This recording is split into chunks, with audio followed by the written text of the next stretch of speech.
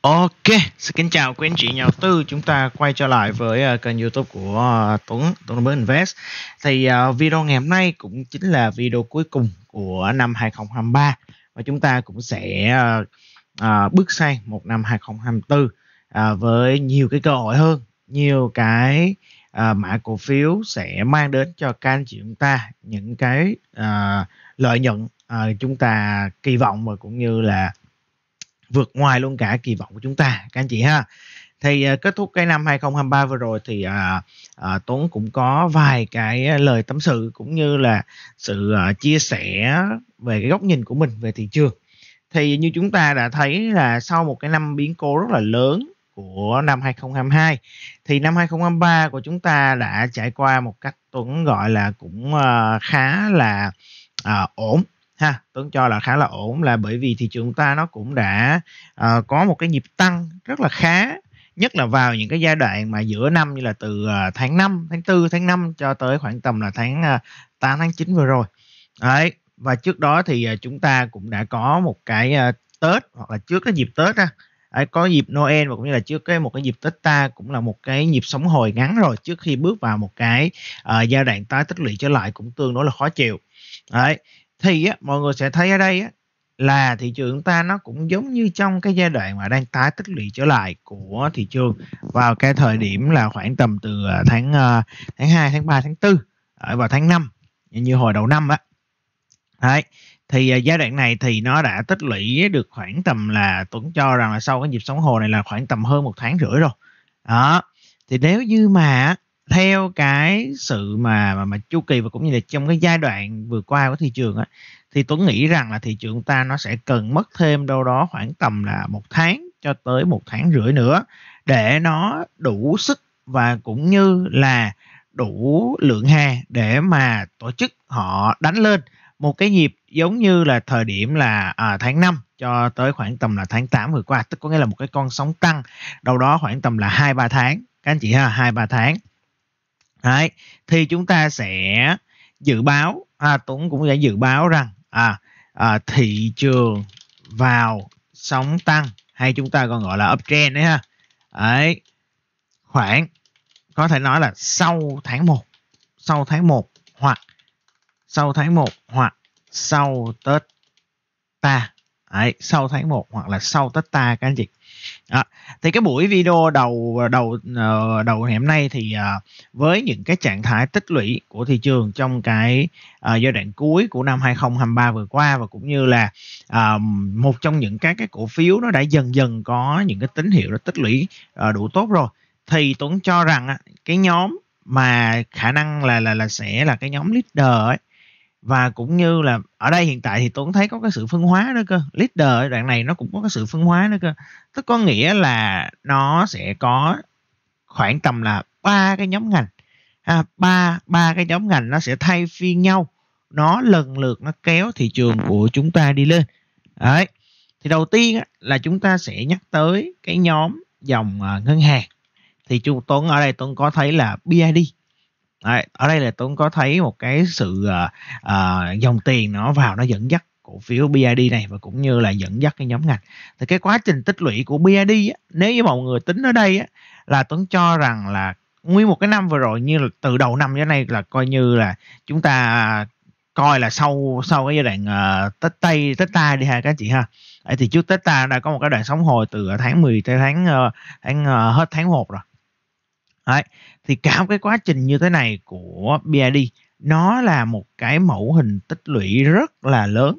À, ở đây là mọi người thấy là nó tích lũy cũng là được khoảng tầm là 10 tháng, 11 tháng đấy các anh chị. Nha, 10 tháng, 11 tháng đấy các anh chị. À, nó rất là giống với những cái giai đoạn ở đây nè, mọi người cũng thấy là nó rất là giống với những cái giai đoạn ở như thế này. Đó, nó rất là giống với những cái giai đoạn như thế này. Ha. Đấy, nó cũng tích lũy một cái khoảng thời gian này. À đây chứ nếu mà chia ra đúng thì là hai hai giai đoạn đi. Ở đây là một cái sóng ngắn này. Rồi sau một cái đoạn sóng ngắn này nó giai đoạn nó tích lũy trở lại ở đây nữa nè. Đấy cũng bắt đầu từ khoảng tầm tháng 2 và cho tới đầu tháng 1 thì nó có sóng tăng nó vượt đỉnh. Mọi người thấy không ạ? Sau cái nhịp mà nó phân phối xong và nó điều chỉnh xuống này bắt đầu nó tái tích lũy trở lại. Nó tái tích lũy trở lại và nó có những cái à, quá trình rũ bỏ ở đây.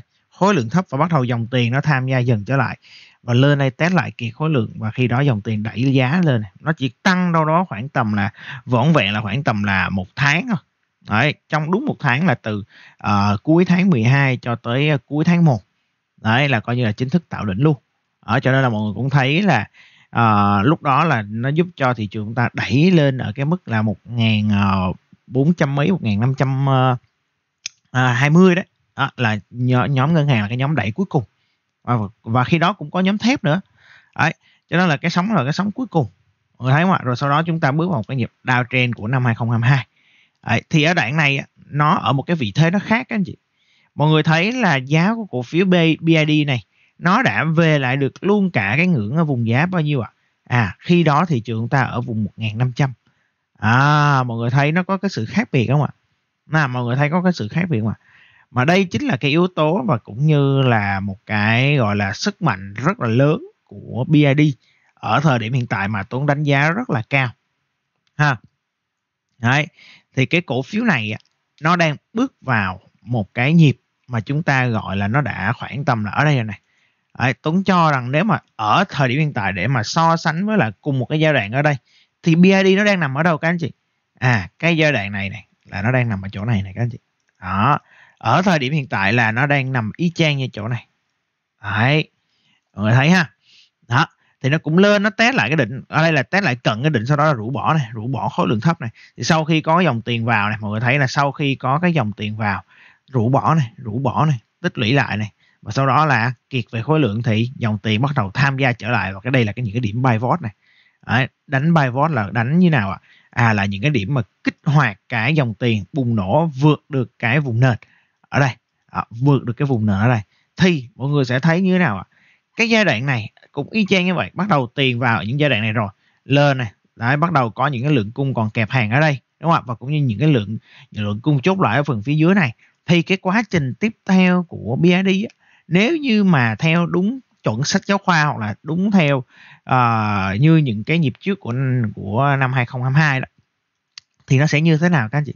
À nó sẽ test lại một vài nhịp ở đây. À, nó mất đâu đó cũng khoảng tầm là mọi người thấy này từ lúc mà nó rướn lên nó vượt này mọi người thấy mà và sau đó bị bán này thì cái quá trình này nó mất cũng khoảng tầm là một tháng đó đúng không? Thì cho nên á, là theo cái nhịp này của BID cũng y chang như vậy thì Tuấn cho rằng nó có lên đi chăng nữa nó có đi lên thêm đi chăng nữa thì mọi người cũng sẽ thấy là nó sẽ tích lũy trở lại mất hết nguyên cả một cái tháng 1 sắp tới. Ha các anh chị ha. Và cơ hội và cũng như là cái sự kiên nhẫn của các anh chị nhà đầu tư sẽ được đền đáp xứng đáng cho một cái sóng tăng tiếp theo của BID. Đấy, đó là cổ phiếu dẫn đầu. Cổ phiếu thứ hai trong nhóm ngân hàng mà tôi đánh giá cao đó chính là ACB. Thì ACB thì cái mẫu hình thì nó thật sự là nó cũng không được đẹp cho lắm. Nhưng mà đây là những cái mã cổ phiếu mà nó có cái khả năng và cái xác suất và nó vượt đỉnh vượt đỉnh thời đại các anh chị nhé, vượt đỉnh thời đại Đấy, vượt đỉnh thời đại và vượt luôn cả cái đỉnh 52 tuần. Đó, nó là cái khả năng cao nhất.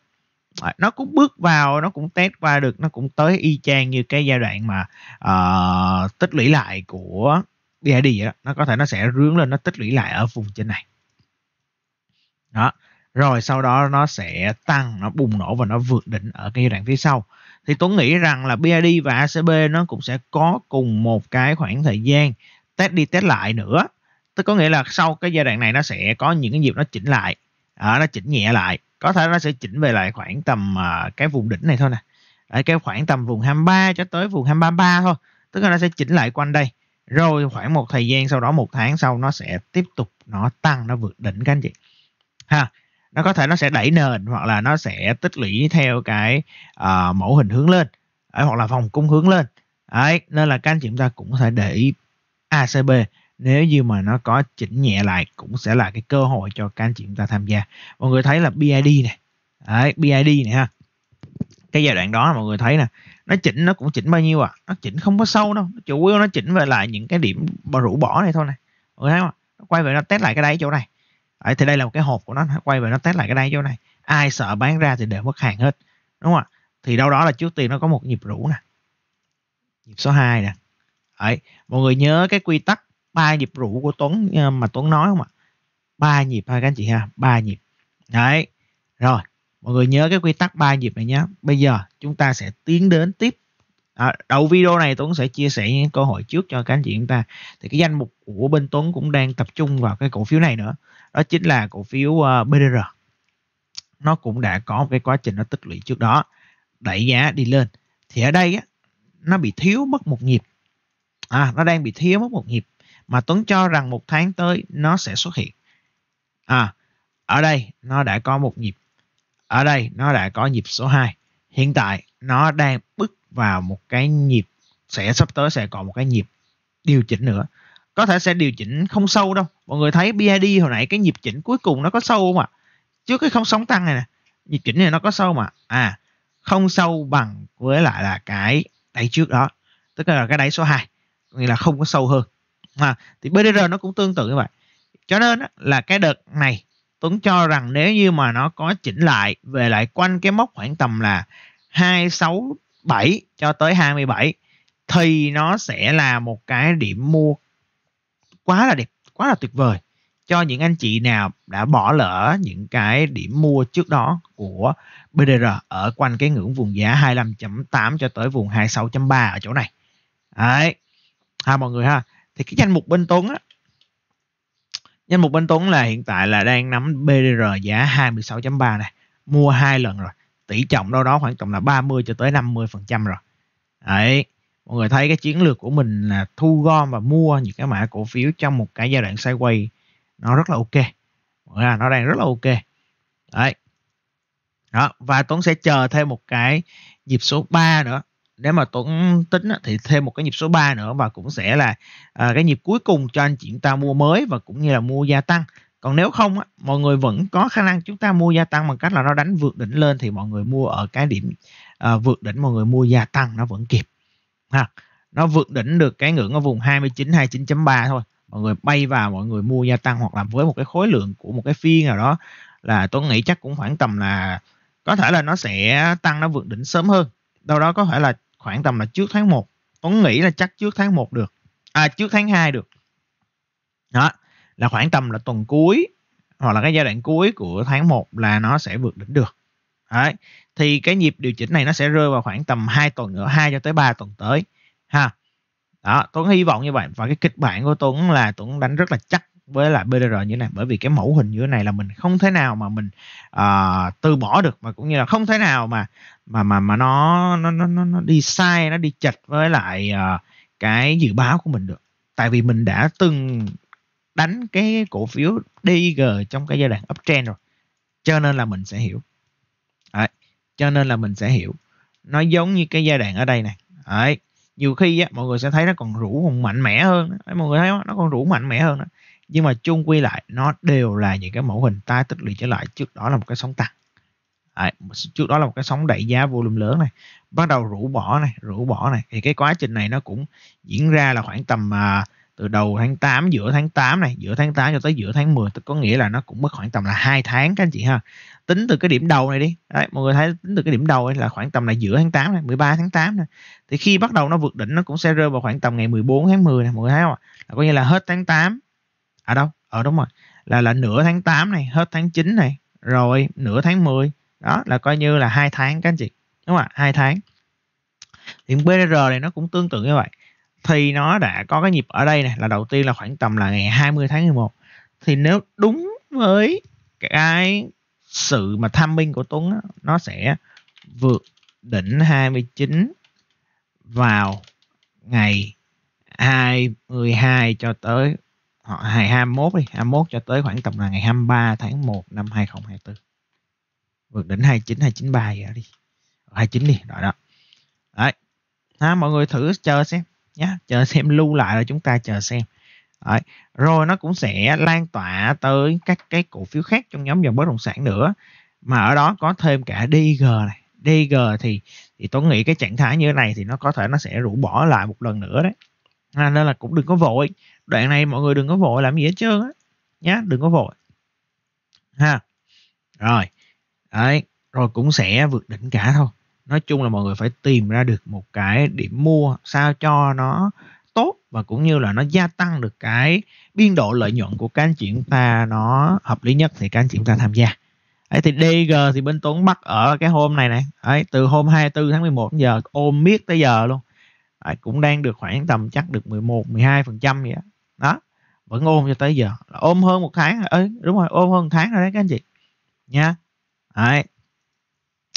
Rồi tại vì sao ạ? Tại vì ngay từ cái thời điểm mà nó xảy ra cái nhịp bán rất là mạnh ngày à, 17 tháng 11 là Tuấn đã bắt đầu là Tuấn đã lên cái kế hoạch là gom ở những cái vùng giá điều chỉnh sâu. Tức có nghĩa là những cái vùng giá như thế này. Đấy, thì cái đợt 2 của DG thì mình lại không có mua. Là vì sao ạ? À? nó chỉnh ít quá. Nó chỉnh chưa đạt tới cái yêu cầu của mình. Đấy, nó chưa có chỉnh tới về lại cái vùng giá 24 cho nên là mình không có mua thêm. Cho nên là mới cái tỷ trọng nó mới chỉ có 20 30 phần trăm mà thôi. Đấy đó là cái lý do mà ờ, uh, DIG thì mình mới có 20 30 phần trăm mà thôi. À, các anh chị ha và cái vùng giá của mình vẫn đang rất là tốt. 24 lần các anh chị. Đấy. Cho nên là phải coi thêm cái điểm mua tiếp theo của DG nhiều khi DG thì nó cũng đang có những cái vận động giống như là cái gì ạ? à? À, đây này mẫu hình thu hẹp này thì nó sẽ có cái lần ba nó thu hẹp lại. Đấy ha thì cũng có thể là canh mua ở cái điểm là khoảng tầm là 25.8 hoặc là 26 đấy canh mua vào trước khi mà nó vượt đỉnh được chỗ này. Đó, nó vượt đỉnh được thì đây sẽ là cái điểm gia tăng cuối cùng. Đó hoặc á, nó sẽ còn một cái trường hợp nữa nha các anh chị nha. Đây để Tuấn ờ, vẽ ra cho. Đây nó sẽ còn một cái trường hợp nữa đó chính là như nào à nó lên đây nó test lại cái đỉnh vùng 29.x nè. Đấy, cái bắt đầu nó rủ lại. Đó, rồi bắt đầu nó mới hướng lên. Ha nó vẫn sẽ có những cái trường hợp như thế này. Đấy, cho nên á, là cái điểm mua tốt nhất lại lấy một cái vị thế là mua ở những cái điểm mà nó vọng xuống như thế này. Thì cái đoạn này Tuấn đã bị bỏ lỡ mất ở cái nhịp này do là nó không có điều chỉnh như cái kế hoạch của mình. À, cho nên là mình cũng hơi ngại chút xíu. Mà thay vào đó là cái hôm đó thì Tuấn vẫn lấy con ờ, BDR Tuấn vẫn lấy con Nam Long. Đấy, Nam Long mà mọi người cũng thấy là là là hôm đó là Tuấn Bắc ở quanh cái ngưỡng ở vùng 35.45 các anh chị. À 35.45 đấy. Rồi sau đó mình cũng canh là mình lướt ở cái vùng giá là ờ, uh, 36.5 rồi. Đấy, mình lướt luôn T0 ở 36.5 rồi các anh chị. À. thì bây giờ nói chung là cũng sẽ canh thêm một điểm nữa đối với là Nam Long cũng tương tự luôn. Cái điểm mà nó vọng xuống các anh chị chúng ta cũng canh quanh cái ngưỡng vùng 36 chúng ta lại canh chúng ta mua vào. Lưu ý ha. Đấy. và nếu như mà chẳng may á nếu mà chẳng may mà Nam Long nó cũng rơi vào cái trường hợp của DG ấy như thế này nè. Đó nó rơi vào trường hợp của DG nó là như thế này nè. Đấy, nó, nó, nó, nó chỉnh sâu hơn nó chỉnh sâu hơn thì các anh chị chúng ta cũng đừng nên bán nha cũng đừng nên bán. Đấy, cứ canh về lại hỗ trợ cứ canh mua vào đừng bán ra. Có chết cũng không bán ra bởi vì cái giai đoạn này tích lũy ai mà rớt hàng là cảm thấy nó rất là tức tối. Tuấn bảo đảm luôn. Tuấn đã nói cái sai lầm trong cái giai đoạn sideways nó là cái gì các anh chị? Chúng ta thường hay bị bán ở quanh những cái ngưỡng hỗ trợ. Đấy chúng ta đu thì chúng ta đu ở ngay gần cái kháng cự. Và chúng ta bán ra thì chúng ta lại bán ra ở những cái ngưỡng vùng hỗ trợ. Đấy, nó đi bị nó bị như nào? Nó bị ngược lại so với lại là cái gì à cái cái cái cái phương pháp giao dịch trong một cái thị trường nó đang sideways à các anh chị ha. Đấy. Thì đó là những cái chia sẻ đầu tiên. Và cũng như là tiếp theo thì nó còn một cái nhóm ngành nữa mà chắc mọi người cũng đang rất là quan tâm đó chính là nhóm dòng chứng khoán. Thì nhóm chứng khoán này thì tôi nghĩ chắc cũng khoảng tầm uh, mình nghĩ là nó phải có một cái nhịp rũ nữa. Theo cái cá nhân tôi thấy thì nó nên cần có thêm một cái nhịp rũ nữa. Hoặc là nó sẽ có trước khi mà nó có một cái nhịp rũ nữa thì chắc chắn nó sẽ phải có một cái nhịp tăng nó bull trap. Đấy. Tức có nghĩa là ví dụ chẳng hạn như SHS nè nó sẽ tăng lên thêm một nhịp ở quanh cái ngưỡng vùng 20 nữa. Rồi sau đó nó sẽ chỉnh lại một nhịp. Đó rồi nó mi lên. Thì cái quá trình như thế này nó cũng sẽ mất đâu đó khoảng tầm là một tháng trời. Đấy. AI cũng tương tự vậy. Ha, cũng sẽ tương tự như vậy các anh chị. Đấy. nên là cái kế hoạch của Tuấn thì à, mình sẽ canh mua ở những cái điểm rũ bỏ thôi chứ mà mình không có không có mua đuổi lên làm gì hết trơn á. Tại nó còn mất cả tháng thôi. Nhưng mà anh chị nào mua đuổi thì cũng đừng có sốt sắng mà cắt lỗ ra. Các anh chị ha mà lựa những cái thời điểm nó điều chỉnh xuống á, thì chúng ta canh chúng ta mua vào. Đấy MBS này SSI này rồi con VIX này cũng từ từ này ha cũng đã nhắm tới hết rồi. Và chúng ta đã lên những cái kế hoạch rồi. Nha đừng có vội đừng có vội vàng gì hết các anh chị đừng có vội vàng gì hết. Mọi người sẽ đều nhận được một cái tết ấm no. Nếu như trong giai đoạn này mọi người có được cho mình cái sự kiên nhẫn. Đấy rồi dòng chứng khoán xong ha. Nhưng mà dòng chứng khoán thì mình chưa nói nhiều tại vì mình biết là nó chưa có vào sóng ngay đâu.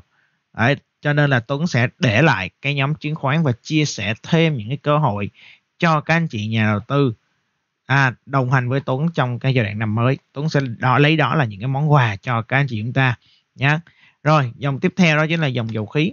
Dòng dầu khí thì đoạn này nó đang hơi bị chán nản nhưng mà mọi người nhìn vào cái khối lượng ở đây là nó đang ở trong cái quá trình cuối của một cái nhịp tích lũy rồi đúng không ạ?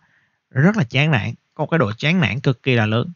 Nhưng đây sẽ là những cái lúc mà chúng ta sẽ thấy được rằng là cổ phiếu nó bắt đầu nó uh, khi mà nó đánh nó vượt đỉnh vào rồi dòng tiền nó tham gia vào cổ phiếu sẽ tăng cực kỳ là mạnh mẽ. À, nhưng mọi người nhớ nhé nó sẽ tăng cực kỳ là mạnh mẽ. Đấy BVS này mọi người cứ lấy quanh thật sự là bên Tuấn thì cái giá vốn của bên mình là 38.5 đấy.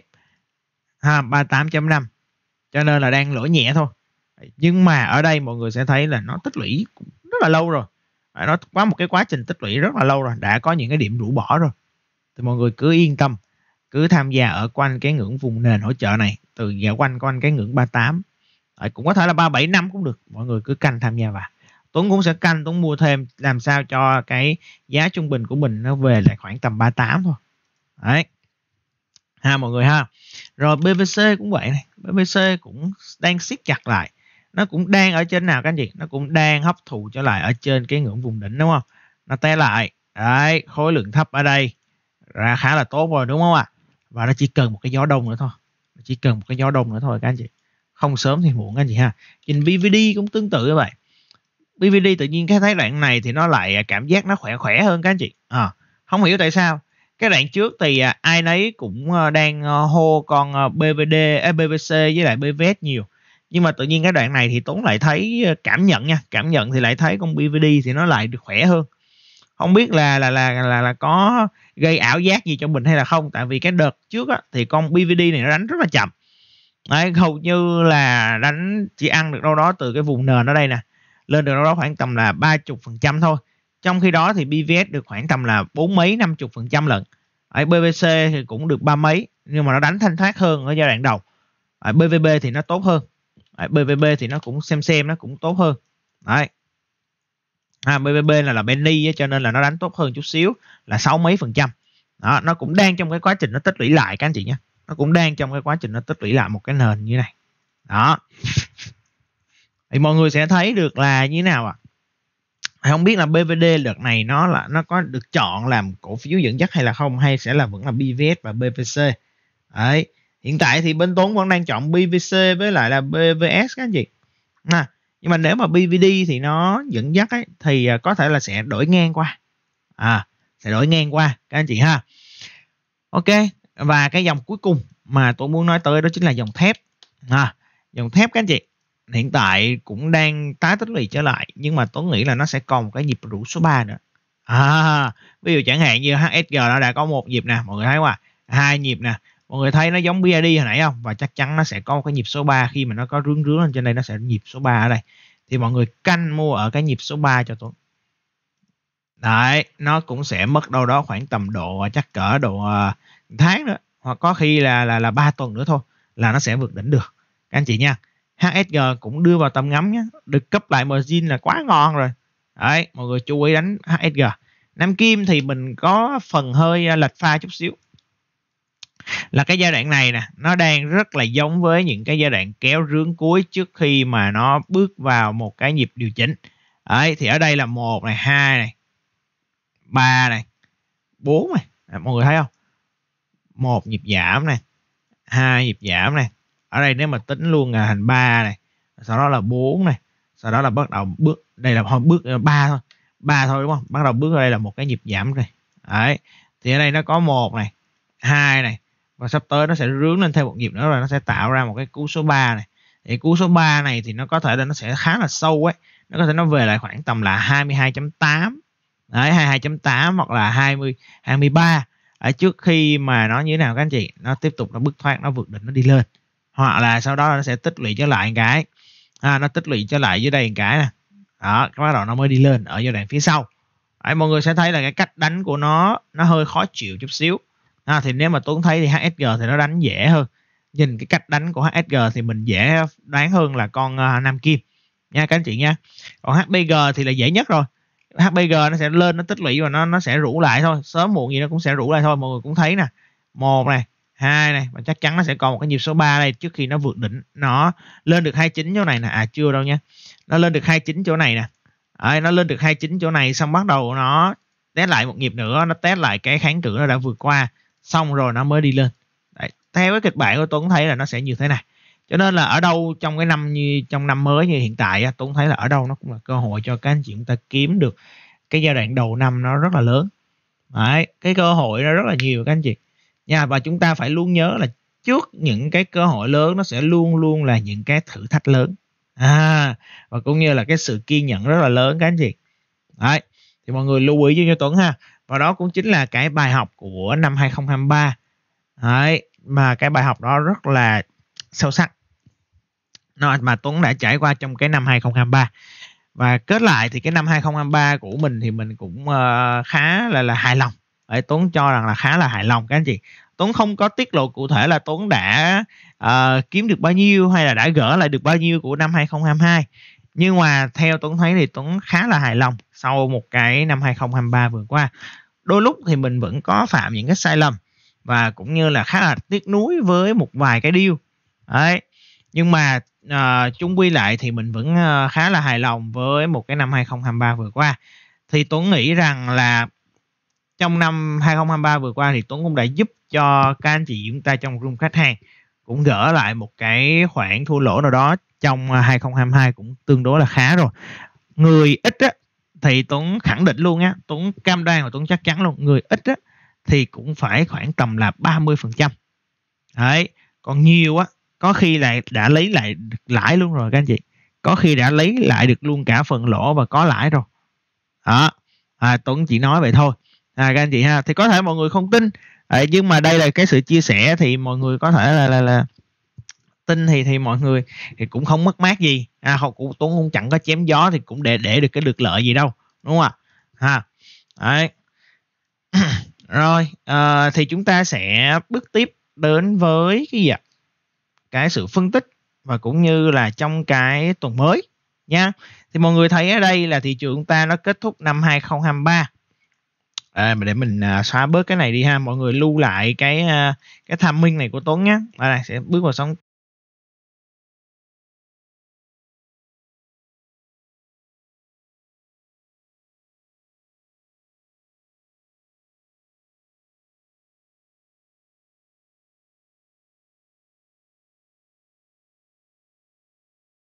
Đấy nó sẽ bước vào uh, cái sóng tăng à, nó bước vào một cái sóng tăng sau cái tháng 1 hoặc là sau Tết ta nó có thể nó sẽ chậm hơn vn index của chúng ta nó sẽ chậm hơn. Thì trước đó nó cũng sẽ dần nó lộ diện các cái mã cổ phiếu nó vượt đỉnh trước. Có thể là BDR, BID hoặc là ACB hoặc là DG hay các thứ đó đất xanh. Đấy. Ha thì mọi người thấy ở đây cái giai đoạn hiện tại thì Tuấn thấy rằng mọi người thấy là cái bắt đầu cái thanh khoản sau cái nhịp chỉnh số 2 vừa rồi đúng không ạ? Trong cái biên sideways như thế này thì ở cái nhịp chỉnh số 2 vừa rồi chúng ta thấy là cái thanh khoản nó thấp và bắt đầu dần dần nó đi lên thì lại cái thanh khoản nó lại gia tăng dần lên. Mọi người thấy nó đang khá là giống với giai đoạn nào à à cái giai đoạn này này các anh chị. Đây ha cái giai đoạn này này. Đấy, chỉnh lại một cái đáy số 2 đây. Đó và bắt đầu đi lên này. Đấy, bắt đầu đi lên này. Thanh khoản nó gia tăng dần này. Đấy. và cho đến khi mà Tuấn nghĩ rằng á Tuấn nghĩ rằng là sẽ có một cái nếu như mà đoạn này thị trường ta vượt được cái vùng 1130 thì Tuấn nghĩ rằng nó sẽ còn một cái nhịp điều chỉnh giống như thế này nữa. Ha, nó có thể nó chỉnh ít nó chỉnh nhiều không quan trọng. Miễn sao là nó sẽ có một cái nhịp nó điều chỉnh lại thì mình nghĩ chắc nó cũng không điều chỉnh sâu đâu. Cùng lắm nó về lại 1120 cho tới 1130 một lần nữa thôi. Rồi sau đó nó lại tích lũy nó lại vụt lên và nó sẽ kiểm tra vùng 1200 trong khoảng tầm là quý 1 ha một quý 1 cũng có thể là là liếm qua một chút xíu của quý 2 tôi có nghĩa là khoảng tầm là tháng uh, tháng 4 cuối tháng 3 tháng 4 nó sẽ đạt được đâu đó khoảng tầm là 1200 1180 1200 đi. Đấy vào cuối quý 1 của năm 2024 các anh chị. Đấy đó là cái sự kỳ vọng của mình các anh chị ha. Đấy, tức có nghĩa là ở đây ấy chúng ta sẽ có một cái giai đoạn mà đầu năm đầu năm đầu tháng mấy anh phải uh, cho một cái uh, niềm vui cái đã đúng không ạ? Đấy phải vừa lên té lại 1160 xong rồi sau đó chỉnh lại này chỉnh lại này rồi bắt đầu là đánh vượt lên ở giai đoạn sắp tới. Đó các anh chị ha. Đấy, thì cái kịch bản của Tuấn nó sẽ rơi vào chạm được cái mốc này. Chạm vùng 1180 1200 vào uh, cuối tháng 3 2024 đấy thì đó là cái sự tham minh của mình các anh chị nha à. rồi thì cái đó là về thị trường chung và mình à, view cho một cái góc nhìn là khoảng tầm là 3 tháng sắp tới các anh chị. Còn cái tuần sau thì uh, Tuấn cho rằng là thị trường chúng ta nó vẫn sẽ cố gắng nó đi lên. Cố gắng nó đi lên nhưng mà có sẽ có phần nó vất vả này. Mọi người thấy cái quá trình mà nó vừa mới vượt được cái ngưỡng kháng cự ở đây đi chẳng hạn nha mọi người thấy nó vất vả nó giống như cái phiên này nè. Nó giống như cái phiên ngày à, uh, 31 tháng à, uh, 30 tháng 3 này. Đấy nó vượt qua xong cái nó bị cục đầu trở lại. Đấy nhưng mà nó sẽ còn ráng nó rướn nó được thêm một đoạn nữa. Ở trước khi mà nó điều chỉnh. Ha thì Tuấn đang thấy nó đang khá là giống với cái đoạn này. Thì ở đây chúng ta cũng có cái kháng cửa vùng 1130 ấy thì uh, phiên thứ sáu vừa rồi chúng ta cũng đã có một cái nhịp nó rướng rướng nó vượt qua cũng tạo gap up nó rướng rướng vượt qua. Nhưng mà cuối phiên thì lại là lấp cái gap lại à, nhưng cũng chưa lấp lắm là tại vì còn một điểm nữa nè. Đấy thì à, mọi người cũng thấy là khả năng mà trong tuần tiếp theo hoặc là hai tuần sắp tới nó sẽ có một cái nhịp nó tăng lên là là trong cái tầm mình có thể dự báo được. Đấy, có thể là sẽ lên được vùng 1150 từ vùng 1160 tại vì cùng lắm là có chỉ có 20 30 điểm thôi các anh chị. Nó chỉ cần kéo những cái mã cổ phiếu trụ như Vinhome, VicVre rồi dòng ngân hàng nó kéo một cái dèo lên một cái thôi là nhanh cực kỳ. Thì ở đây á Tuấn mới cho rằng á, nó sẽ kéo con BID này. Nó sẽ kéo con BID này lên thêm một chút xíu nữa để nó như nào ạ? Nó kéo rướng lên con BID này thêm một nhịp nữa. Rồi sau đó nó sẽ điều chỉnh con BID này. Đồng thời lúc đó là VN của chúng ta nó cũng sẽ điều chỉnh theo. Đấy. Nó sẽ kéo banh hoặc là nó sẽ kéo cổ phiếu trụ lên. Rồi sau đó nó sẽ chỉnh lại, nó tích lũy trở lại. Hai các anh chị ha. Đó, thì đó là cái kế hoạch trong cái tuần đầu tiên của năm mới mà các anh chị chúng ta quan tâm à, thì Tuấn cái đợt này thì Tuấn vẫn đang ừ, cầm cổ phiếu thôi và vẫn chưa gia tăng gì nhiều. Mình chỉ canh mua ở những cái thời điểm như thế này nè các anh chị. Đây là cái điểm mua của Tuấn này. Và đây tiếp theo là cái điểm mua của Tuấn này. Đấy. À, bữa giờ vừa rồi là mình chỉ mua hai cái đoạn như thế này thôi ha. Rồi ngoài ra thì ở một số các cái nhóm cổ phiếu khác mà Tuấn thấy là đang khá là tốt ví dụ như là bất động sản khu công nghiệp này. Có SSC là nó đã cũng vào sóng rồi. Nhưng mà ở đây mọi người cũng thấy là như uh, hồi nãy là như con ờ, uh, BID như Tuấn có nói nó có khoảng tầm là ba nhịp chỉnh hoặc là con ờ, uh, BDR nó cũng sẽ có ba nhịp chỉnh. Thì ở đây thì, thì Tuấn chưa chắc hẳn là nó đã đủ ba nhịp chỉnh đâu. Đây này một hai này đấy và đây là sẽ là cái nhịp số 3 này mọi người thấy không ạ? Thì nếu mà sau cái đoạn này mà nó bứt tốc nó đi lên thì đây là những cái mã cổ phiếu nó vượt đỉnh trước à, những cái mã cổ phiếu nó vượt đỉnh đầu tiên. Đấy và cái quá trình tích lũy nó cũng khá là giống với lại là BDR này mọi người thấy không ạ? Cái form nó rất là giống ha. Đó rồi sau đó sẽ tiếp theo có thêm IDC cũng vậy này. IDC thì nó đánh hơi khó chịu chút xíu là tại vì nó luôn luôn nó đánh theo cái kiểu mà nó hướng lên. Đấy, cái kiểu mà nó hướng lên như thế này nè thấy không? Xuyên suốt qua nguyên một cái quá trình như thế này nó đánh nó luôn hướng lên. Đấy, thì nó có phần nó hơi khó chịu hơn chút xíu. Đó. Ha nó có phần nó hơi khó chịu hơn chút xíu. Thì tuấn nghĩ rằng là sớm muộn gì nó cũng sẽ đánh nó vượt đỉnh lên mà thôi. Đấy nên là anh chị nào mà có hàng thì Tuấn vẫn ưu tiên nắm giữ còn muốn giải ngân thì chúng ta vẫn có thể giải ngân được nhá. Nhưng mà cái bản chất của cổ phiếu là nó đi lên một cách nó rất là chậm rãi, nó từ từ, chứ nó không có có tính đầu cơ cao. Cái gì à? Nếu mà các anh chị ta muốn cái tính đầu cơ cao ở cái nhóm bất động sản của công nghiệp á chúng ta có VGC đấy VGC bữa vừa rồi là Tuấn có nói là nếu mà nó có chỉnh về lại một cái nhịp quanh 52 53 ở đây, mọi người canh, mọi người lấy vào, rất là đẹp. Hiện tại thì nếu như mà ở đây thì chúng ta có thể là chờ thêm một cái nhịp mà nó rướng lên, nó té lại. Đấy, nó rướng lên, nó té lại chỗ này thì mọi người có thể canh mua ở nhịp số số 2 chỗ này đó. Ha. Rồi ờ, uh, KBC thì cũng sớm muộn gì nó cũng sẽ đánh lên thôi. Tại vì con GVR nó đánh lên rồi này. Hôm thứ sáu là GVR tuần theo đánh lên rồi này. Nhưng mà mọi người thấy ở đây cái khối lượng nó như thế nào à? À nó lớn quá. Đúng không ạ? Cái khối lượng nó lớn như thế này mà ở trước một cái vùng nền dưới này nó giống giống như đây nè. Đấy. Nó sẽ có cái khoảng thời gian nó rủ lại. Bởi vì sao à? lên đây nó lại gặp cái kháng cự mất rồi. Đúng không ạ? Lên đây nó nhú lên được thêm miếng nó lại gặp cái kháng cự mất rồi. Thì à lên đây này bắt đầu lên đây nhú cái bắt đầu nó chỉnh lại. Đấy, bắt đầu nó chỉnh lại rồi nó mới lên ở phần phía sau. Mọi người cứ chờ xem coi có đúng không nhé chứ nó không thể nào nó vượt được một cách nhanh chóng đâu. Ha con này nó nặng lắm chứ không phải là nhẹ đâu các anh chị. Con này nó nặng mông nha nổi tiếng là nặng mông. Đó. Rồi ngoài ra trong nhóm bất động sản khu công nghiệp thì có BHR nữa thì cũng ok. Mà BHR này mọi người thấy nó cũng nổ lên này gặp lại kháng cửa đây chắc chắn nó sẽ chỉnh hoặc nó tích lũy trở lại. Một khoảng thời gian rồi. Đó nha rồi uh, ship cũng đang khá là đẹp. Đấy, con ship này mọi người thấy là uh, đang uh, tốt ấy. Tôi nghĩ đánh giá cao con ship này. Nhiều khi con mấy con nhỏ nhỏ này là đầu cơ cũng khủng khiếp lắm. Các anh chị chúng ta đừng có uh, khinh thường nữa ha. Mấy con này cũng ghê lắm nhưng mà có điều thanh khoản nhỏ quá thì uh, nó chỉ phù hợp cho mấy anh chị chúng ta đánh vốn nhỏ nhỏ thôi. Chứ mà không đánh một cái lượng lớn được nhé rồi đấy mọi người có thể lưu ý ha rồi còn nhóm nào nữa nha? Trong nhóm ngân hàng thì mình chỉ đánh giá cao ờ, BID và ACB thôi. Ngoài ra thì ờ, cái top 2 thì Tuấn sẽ nhắc tới ờ, những cái mã cổ phiếu như Techcombank. Đấy, Techcombank là thuộc cái dạng top 2 nhưng mà nó sẽ đi lên một cách nó tương đối là lâu.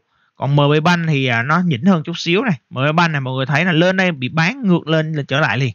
Tại vì sao? Nó lấp lại cái gap ở chỗ này. Đó, nó té lại gap ở chỗ này thì nó sẽ có một cái nhịp chỉnh cái nữa trước khi nó đi lên. Hoặc nó sẽ tích lũy trở lại ở trên cái vùng biên trên này để nó đi lên. À, nó còn mất thời gian lắm chứ đâu phải là một sớm một chiều đâu các anh chị nha.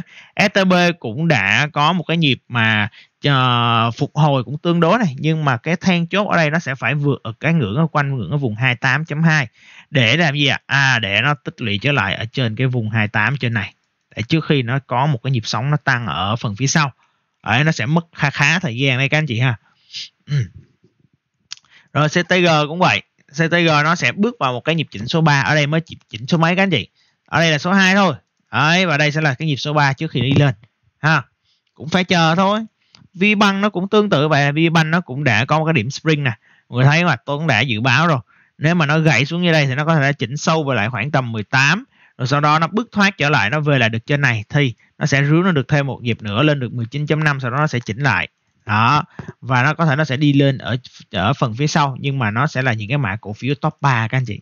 Nhà top 3 à, HD Bank thì thôi bá đạo luôn rồi này mình không có cái điểm mua con này ha. Rồi ngoài ra thì MSB nó cũng sẽ là cái form giống như của ờ, uh, STB mọi người thấy mà đây là cái STB nó cũng đang giống giống như này thì nó sẽ phải vượt lên một cái sau đó nó sẽ chỉnh lại. Thì nó mới có một cái con sóng ở phần phía sau thì nó cũng sẽ một lần nữa nó lặp lại cái cái cái cái cái chu kỳ như thế này các anh chị nha. Ha rồi EIB cũng tương tự nha. EIB nó cũng tương tự. Ở đoạn này mọi người thấy là nó mới chỉ có hai nhịp rủ. Hai nhịp rủ thôi, nó sẽ còn lên một nhịp nữa và nó rủ, thì nó sẽ mất khoảng thời gian tương đối là lâu. Mọi người cứ chú ý cho tốn trong một cái vùng nền nó lúc nào nó cũng có cỡ ba nhịp rủ, nó mới nó mới xong. Đấy, ba nhịp rủ này, một, hai, ba. Rồi sau đó mới tạo ra được một con sóng, các anh chị ha. Đấy, hầu như nhóm nào cũng vậy. Tuấn thấy việt nam mình chắc hay đánh kiểu đó. Đấy rồi à, ngoài ra ở các cái nhóm khác thì à, xây dựng thì có CEI cũng được này bất động sản CEI cũng khá là ok. Thì cái nhịp này mọi người cũng có thể canh nhé. À, mọi người cũng có thể, có thể canh ở cái uh, quanh cái ngưỡng vùng nếu như mà nó có chỉnh lại quanh ngưỡng vùng 17 cũng có thể là canh mua vào ha. Rồi HTN HTN nó cũng sớm muộn nó cũng lên rồi các anh chị. HTN thì sớm muộn nó cũng lên thôi. À, mọi người có thể chú ý thêm HTN nhé rồi Locoji là đầu tư công đầu tư công thì uh, nó cũng sẽ lên. Tôi nghĩ là đầu tư công thì mọi người cũng đang à, rất là chú trọng đúng không? Nhưng mà tôi nghĩ nó sẽ mất thời gian nhiều hơn chút xíu cũng tùy mãi nhé à, thì LCG thì tôi nghĩ nó sẽ mất lâu hơn nhiều tại vì cái thế của nó nó nằm ở nửa dưới này. Cái vùng giá này là cái vùng giá khi mà 1160 này. À, thì nó vẫn chưa lên được tới đây. Thì nó đang khá là đồng pha so với là, là thị trường chung. Các anh chị nhé có VCG thì nó cũng tương tự còn VCG thì nó cũng tương tự này đó VCG nó cũng tương tự. Cũng đang nâng đáy lên. Thì nó cũng sẽ có một cái lúc nào đó nó sẽ rũ bỏ mạnh hơn cái vùng đáy này để nó phục hồi lên tiếp. Đấy, cái cách đánh của nó nó sẽ thường hay rũ bỏ mạnh các anh chị. À, chúng ta lưu ý. Rồi HHV là khỏe nhất. Đấy, HHV là khỏe nhất các anh chị ha. Lên được trên đây rồi thì nó sẽ có cái nhịp nó đẩy lên tiếp nó đẩy nền lên tiếp để nó test lại vùng đỉnh trước khi nó lại tiếp tục nó tạo nền ở vùng cận đỉnh. Rồi sau đó nó sẽ tiếp tục nó vượt đỉnh ở giai đoạn phía sau thì con cũng đánh giá tương đối là ổn đối với là HHV đấy nhá. CTD thì là tốt nhất rồi nhưng mà CTD thì mọi người thấy ở cái đoạn này nè nó chỉ mới có khoảng tầm là một chỉnh hai chỉnh thôi thì chắc chắn cái nhịp chỉnh số 3 nó sẽ xuất hiện ở trên đây. Đó mọi người lưu ý ha đây là cái trường hợp uh, nếu mà nó bị chỉnh bị thiếu cái nhịp số 3 Đấy, tức có nghĩa là mới có một chỉnh thôi hai chỉnh thôi thì lên trên vượt đây thì nó sẽ có một cái nhịp chỉnh số 3 để mà mua thì có thể là canh quanh cái ngưỡng ở vùng à, 66 hoặc là 67 gì đó. 66 665 cho tới 675 anh chị nha ha chú ý nha rồi ok. À, ngoài ra bất động sản những cái con khác như là Nam Long này tôi nói rồi. Đất xanh thì cũng sẽ sớm nó có một cái nhịp chỉnh nữa. Nha nó có thể lên được khoảng tầm 20 sau đó nó sẽ chỉnh mạnh hơn. Đấy, hoặc nó sẽ chỉnh về lại khoảng tầm 18 trăm ít. Nó lại tiếp tục nó lên. Kiểu kiểu như vậy. Ha nên là chúng ta cũng chưa biết chừng để đó là những cái việc mà mà Tuấn án chừng thôi. Đó, thì hy vọng rằng là mọi thứ nó sẽ đi theo cái kịch bản mà mình đề ra. Để các anh chị chúng ta có thể đầu tư và tìm kiếm cho mình những cái khoản lợi nhuận nó thực sự là tốt. Chứ các anh chị chúng ta cầm nhiều khi chúng ta nản quá, chúng ta rất là dễ bán ở những cái vùng hỗ trợ. Và khi mà chúng ta bán ra ở vùng hỗ trợ là cổ phiếu ngay lập tức nó sẽ, bất kỳ lúc nào nó cũng sẽ như nào ạ, nó cũng sẽ bật tăng rất là nhanh nha các anh chị nha. Novaland cũng phải từ từ thôi. Đấy, Novaland này tôi cũng bảo rồi nó sẽ phục hồi nó lên nó test lại khoảng tầm 17 8 hoặc là 18 thôi. Rồi sau đó nó sẽ chỉnh lại. Cái con này thì nó sẽ mất cái khoảng thời gian nhiều hơn các anh chị nha. Còn cái tính đầu cơ nó cao hơn thì à, thì thì thì mình sẽ có những cái cập nhật cho các anh chị chúng ta sau nhá. HDC cũng vậy. Đấy, HDC cũng vậy. Rồi HDG cũng vậy nhá. HDG cũng tương tự vậy. HDG thì có tin xấu cho nên là mình nghĩ là nó bán nhiều như thế này để nó rủ bỏ mạnh thôi chứ có gì đâu mọi người thấy nó có thủng đáy không à à không hề các anh chị ha. Đấy, và đây là sẽ là cái nhịp chỉnh số 3 rồi này. À, nhiều khi thì đây là những cái mã cổ phiếu mà nhịp chỉnh một này hai này và đây là số 3 nó tới nhanh quá. Đấy, nhiều khi nó tăng vượt đỉnh trước những cái con khác ấy. nhiều khi con này nó lại tăng vượt đỉnh trước những con khác nha. Rồi à, gì nữa nha? Ờ, à, DBG DBG thì ừ, lâu lắm rồi cũng không đánh DBG nhưng mà cũng đang trong một những cái mẫu hình tích lũy cũng khá là tốt ha rồi SCR những cái cổ phiếu penny thì Tuấn không hoái lắm ở cái giai đoạn này. Nha cho nên là Tuấn uh, bỏ qua các anh chị nhé Ok thì uh, còn nhóm nào nữa nha phân bón DBM DCM gì cũng đang tích lũy rồi nhưng mà Tuấn sẽ không có đánh chủ đạo ở cái nhóm này. Đấy, anh chị nào mà có đánh thì uh, có thể là liên hệ với Tuấn Tuấn sẽ uh, xem xét những cái điểm mua cho các anh chị chúng ta nhé thủy sản ADV cũng chưa à, cái nhóm này thì Tuấn cũng không có đánh tập trung. À, trừ, trừ những cái đoạn sóng nhỏ nhỏ thì mình có thể canh lướt sóng thôi. Nha còn ở thời điểm hiện tại thì mình ở đầu sóng thì mình sẽ luôn canh những cái nhóm cổ phiếu leader cái đã. Các anh chị ha chúng ta lưu ý như vậy. Bán lẻ thì có FRT úi dồi FRT hay thế.